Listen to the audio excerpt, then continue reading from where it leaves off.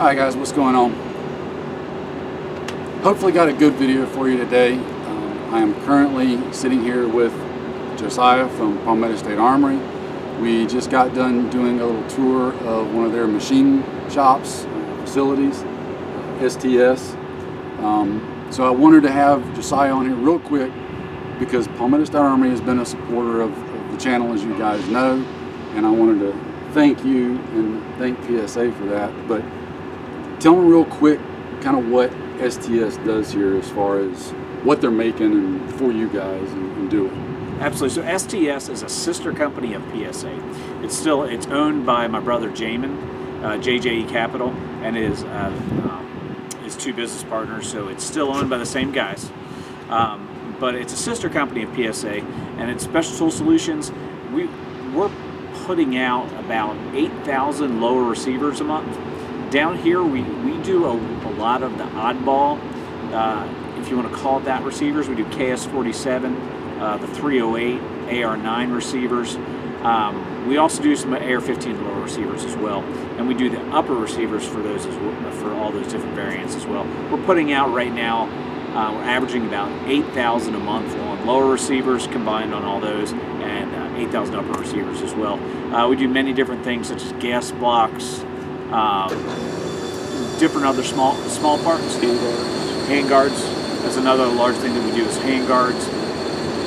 And so and as far as uh, raw aluminum and raw steel, that's a question that came up through this this tour was how many millions of dollars are you guys consuming through just this one facility? And the answer is about it's about a, a one to five one to five million dollars a month consuming of uh, steel and aluminum. Uh, it just varies per month, and sometimes it goes above five million, sometimes it goes below. It just varies uh, depending on demand. Yeah, this is, like I said, like for the, the 9 millimeter and, and KS47 ARs, which you guys obviously know I'm a big fan of the KS47s. This is where the lowers are made at. Actually got to see that. I'll try to roll in some stuff for y'all to take a look at. But didn't want to drag it out, guys. Just wanted to let y'all kind of get an idea of what this place was, what they have going on. There's a lot more to Palmetto State Armory than what you just see on the website. The, the, the website is just a very small picture of what all they've, they've got going on and what they're doing. So appreciate the opportunity to come check the place out with you and the time. Appreciate you, Caleb. all. So, thanks, guys. We'll see y'all later. All right, so We produce around three to four thousand of these a week. yeah, they are. All right, so we're gonna get to look at a gas block being made here. Would you like the machine to actually function? Uh, yeah, Run it? that'll be awesome.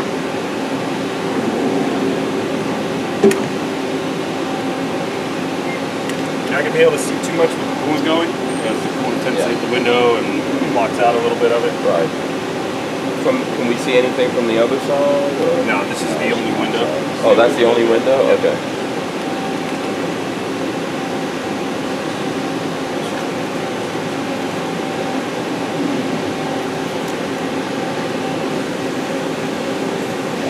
So the first thing that happens is the bar feeder pushes out the bar stock. Okay. How close can we get in? Get right up to this. Okay. safe. Go ahead. How much resistance? So it faces off both ends. Okay, you need wipers in here, man. yeah, I told you. You're not gonna be able to see too much. yeah. Most of the time, the videos that you see of CNC machining, they make, uh, you know, they're doing like out of aluminum bronze or something that doesn't really need a lot of coolant Yeah. to, uh, Okay. to show it.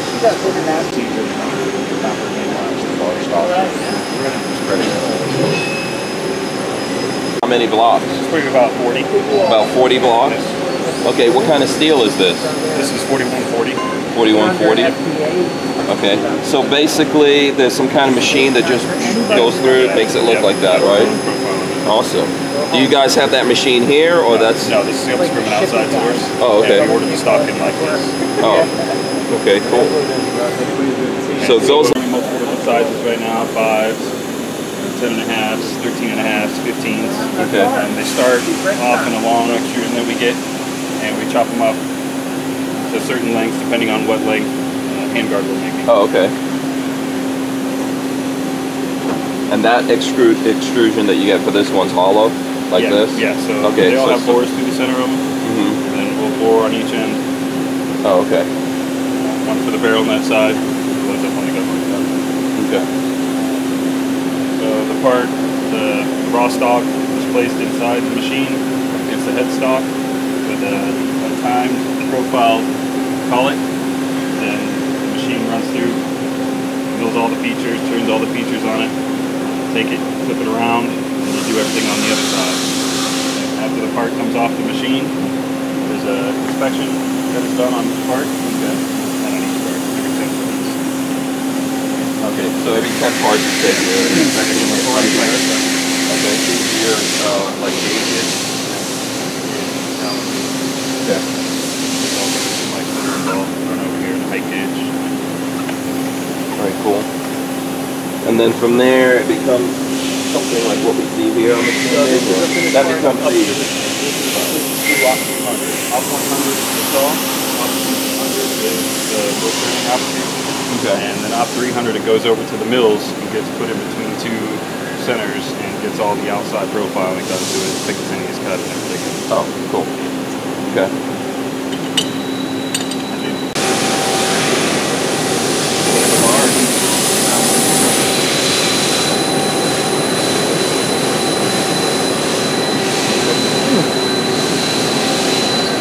Go ahead, get in there.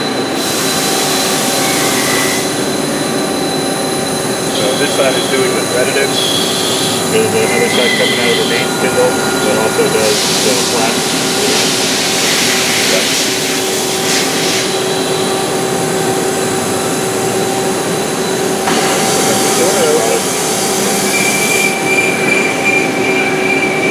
Facility behind here.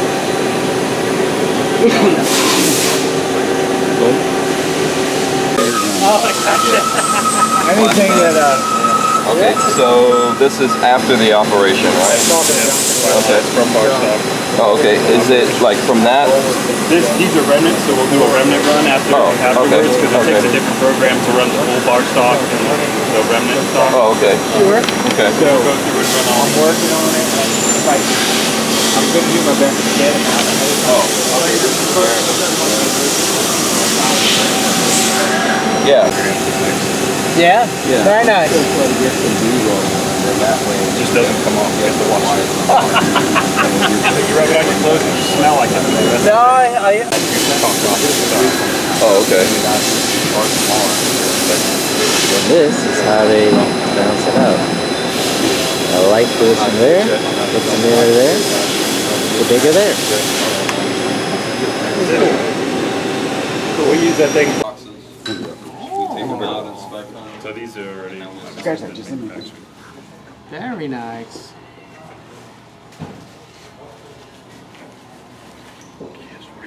Hands above the table, Hank. Don't want you running off with one of those receivers. Hank, you distracting. That's cool. We'll grab us a couple. Oh, there you go. Cool beans.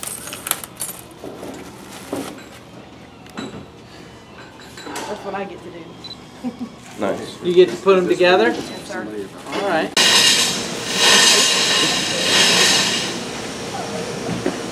Of the handkeeper operations in there as well.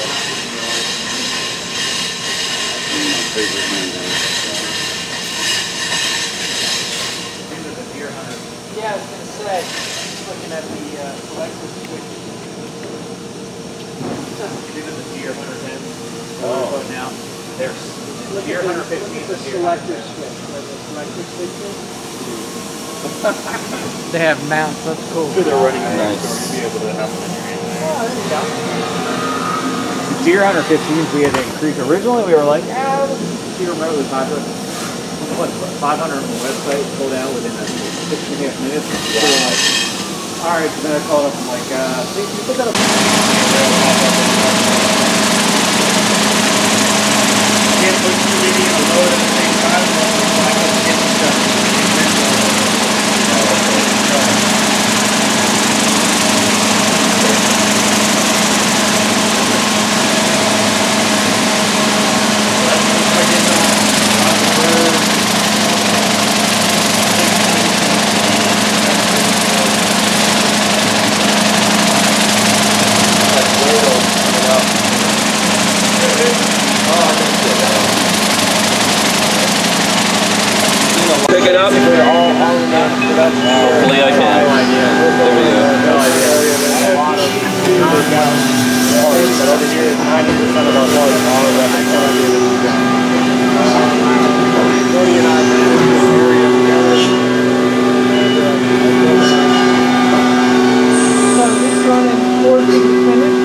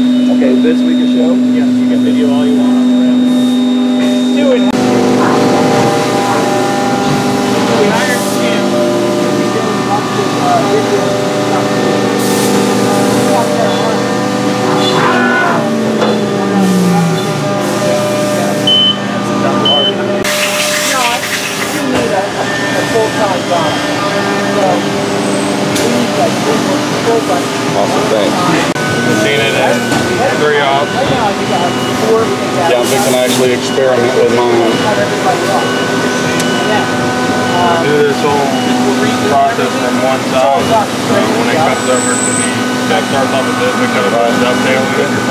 Put it in the jaws, and then the is. Yeah. Off, does all these. Give you the picture of this. Okay.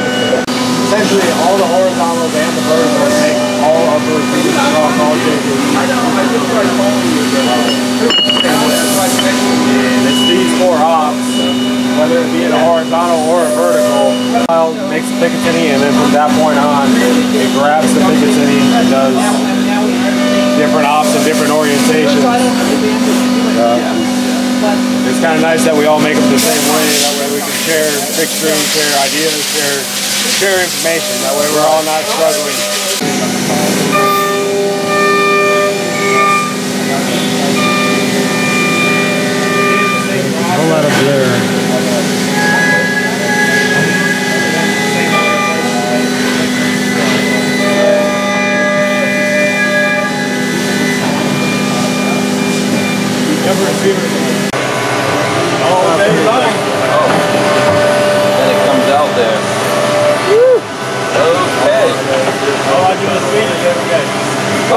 See that again. Can I see that again with another one? Yep.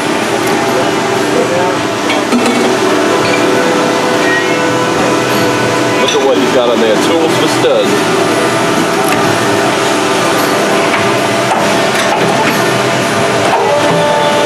Oh wow. That does exactly what I thought it would do. So by the way, the AR stuff. The AR stuff. So there's a big, just big, It don't you. All right, so check it out. We are in the warehouse where they keep all the steel. All of this, this whole building is uh, those are just big extrude. stock for everything that's getting made here. So just steel, just steel. So um, all of this is the AR stuff here, right? Yep.